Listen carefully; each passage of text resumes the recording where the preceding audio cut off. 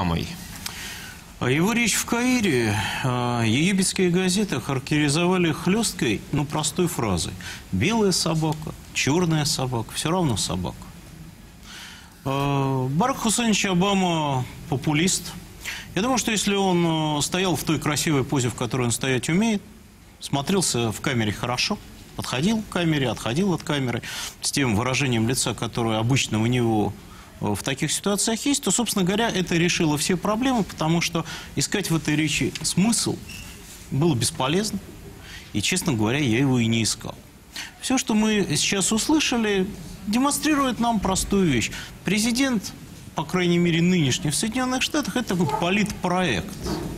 Э, Его задача э, сделать вид, что он знает, что происходит в мире, он ведет страну, он на капитанском мостике, корабль плывет куда надо.